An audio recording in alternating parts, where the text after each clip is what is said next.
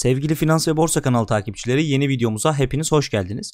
Bugün sizlerle birlikte yabancıların agresif olarak aldığı hisseleri göreceğiz. Bunları birlikte hem halk yatırımdan hem de vakıf yatırımdan birlikte inceleyeceğiz. Yabancılar bakalım hangi hisseleri agresif olarak topluyorlar, hangi hisselerde daha fazla yatırımları var ve özellikle de hangi hisselerden ciddi çıkış sağlıyorlar. Bunları birlikte inceleyeceğiz.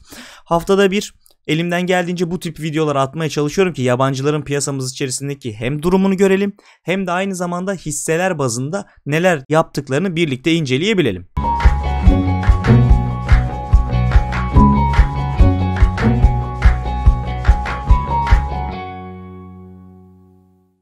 Videoya başlamadan önce kanalımıza abone olup beğeni butonuna basarak bizlere destek olabilirsiniz. Aynı zamanda aklınıza takılan sorular olursa da yorumlar kısmına yazabilirsiniz. Şimdi gelelim önce raporumuzun tarihine bakalım. 16 Kasım yani bugünün tarihinde bir yabancı oranları incelemesi gerçekleştireceğiz. Tablodaki verilere baktığımızda Türksel ve Yapı Kredi hisselerinde pozisyon artışı dikkat çekiyor diye yazıyor. Önemli bir not olarak burada var. Şimdi biz aşağı geldiğimizde kendimiz inceleyebiliyoruz. Öncelikle kodlarına baktığımızda şey Türksel'in, Koç Holding'in, Ford'un, Sahol'ün, Garanti'nin, BİMAŞ'ın, Akbank'ın burada büyük hisselerin tamamının yabancı yabancı oranlarını görebiliyoruz. Burada son fiyatlarını, son yabancı takas oranlarını yani ne kadarının yabancılara ait olduğunu bir haftalık, bir aylık ve üç aylık olarak da görebiliyoruz. Sağ tarafta zaten bizim için yabancı aksiyonlarını kendileri burada filtrelemişler. Mesela son dönemde alıcılı olduğunu, Turkcell'in, Koç Holding'in dengeli olduğunu, Fortun, Sahol'ün garantinin çok alıcılı olduğunu, işte burada başka e, Ereğli'nin dengeli olduğunu, yine bir aşağı indiğimizde Aselsan'ın dengeli olduğunu, Şişe'nin alıcılı olduğunu, Petkim'in dengeli olduğunu vesaire görebiliyoruz.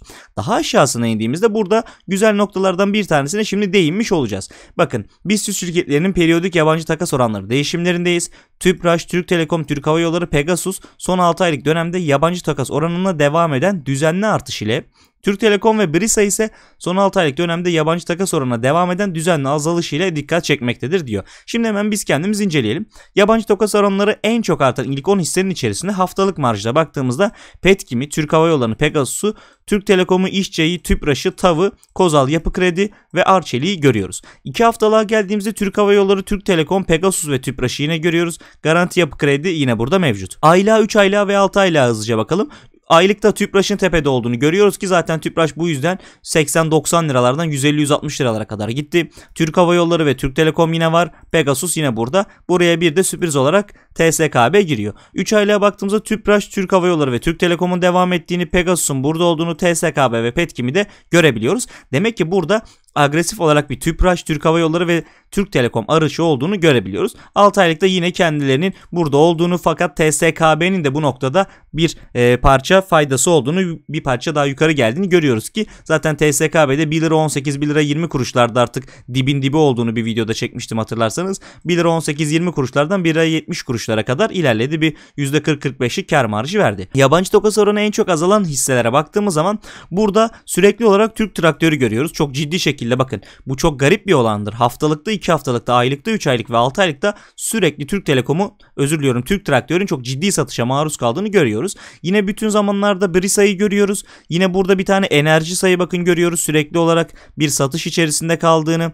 Aynı zamanda Aydem'i görüyoruz. Burada e, İzmir Demir Çeliği görüyoruz. Biraz daha aylık baza geldiğimiz zaman biraz Koç Holding satışı görüyoruz. Biraz Bimaş satışı görüyoruz. 3 aylığa geldiğimizde Arçelik, Kardemir'de ve Yataş'ı görüyoruz. Burada önemli kriterlerden biri. 6 aylıkta satılıyor, 3 aylıkta satılıyor ve artık aylık haftalıklarda satılmıyorsa demek ki yabancı satışı bitmiştir burada. Biraz da aylıkta 3 aylıklarda alışı yok ama haftalıkta buranın içerisine girdiyse bu artık alışların daha agresifleştiği anlamına geliyor. Şimdi gelelim burada günlük yabancı takas oranlarımızda bir de vakıf yatırıma. Vakıf yatırımdan da sadece burayı kullanacağız. Günlük olarak nelerde bir ne, alım satım olmuş. Günlük yabancı takasının en çok artanlar da TSKB, Pegasus zaten bildiğimiz gibi Garanti, İşçe, Kozal, Türk Hava Yolları, Alarko, Türk Telekom ve Akbank'ı görebiliyoruz. Bir de TAV var. En çok azalanlarda ise hala günlük marjda bile tepelerde olan Türk Traktörü, Enerji Sayı, Doğan Holding, Kardemir ve Petkim'i görebiliyoruz. Şimdi bir de iş yatırıma geçeceğiz. Fakat iş yatırımın şöyle bir aşağı indiğimiz zaman burada BIST yıl içi yabancı oranın grafiğine bakacağız. Şöyle iyice yaklaştığımızda burada gördüğümüz olumlu noktalardan biri bakın.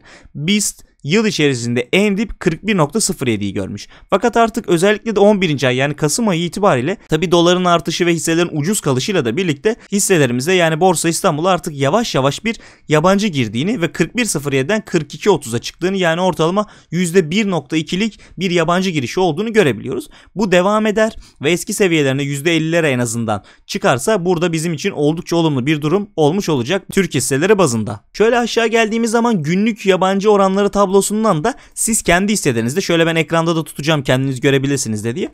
Bütün hisselerin tek tek yabancı oranlarını, yabancı paylarını görebilirsiniz. Örneğin işte burada Anadolu Efes'in %67'sinin yabancı olduğunu, burada Aksen'in %8'inin yabancı olduğundan, ANSGR'nin %10'dan, Arçelik'in %40 yabancı olduğu, işte DYO Boya'nın %0.44, Doğan Holding'in %26, İstemir'in %13 olduğunu, Tremondi'nin %73'ünün, Türk Hava Yolları'nın %36'sının yabancı, Tava Havalimanı'nın %72'sinin yabancı olduğuna kadar tüm hisselerde şöyle kendi hisselerinizin yabancı oranlarını görebilirsiniz. Mesela Ülker'in %90'ı burada yabancı olduğunu görebiliyorum. Yine aşağı indiğim zaman farklı şirketler Lokman 2000 %33, Logo'nun %51 olduğunu, Konya'nın %53'ün yabancı olduğunu görebiliyorsunuz.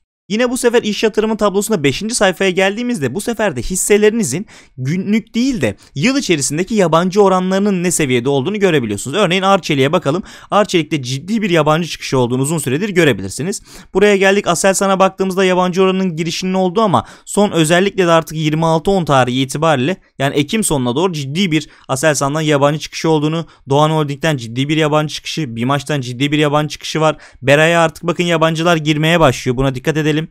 Ardından aşağı doğru geldiğimizde örneğin emlak konutta bir yabancı girişi var. Ereğli'de ciddi bir yabancı çıkışı olduğunu görüyoruz. Fortota biraz dengesiz burada. Garantide ciddi bir yabancı çıkışı vardı. Tabii ki grafikler şu an tam güncel olmadığı için yine yabancı girişleri garantiye başladı ama daha uzun soluklu baktığımızda orta uzun vadede çıkışları olduğunu görebiliyoruz. Buradan günlük yabancı tablolarını inceleyerek mutlaka kendinize stratejiler çıkartmanız gerekiyor. Özellikle bitirecek olursak yabancıların agresif olarak aldığı hisselere Türk Hava Yolları, Pegasus, Türk Telekom, Tüpraş yazabiliriz. Bu 4 hisseyi şimdilik yazabiliriz. Agresif olarak sattığı hisselere birinci sırada tabii ki kesinlikle Türk Traktör. ikincisine ise bir hisseyi yazabiliriz. Burada gösterdiğimiz bu 4 hisseye ve aşağıdaki 2 hisseye dikkat etmeyi unutmayın. Eğitimlerimizin, videolarımızın devamı için bizlere abone olup beğeni butonuna basarak da destek olabilirsiniz. İzlediğiniz için canı gönülden teşekkür ederim. Bir sonraki videoda görüşmek üzere. Sağlıcakla kalın.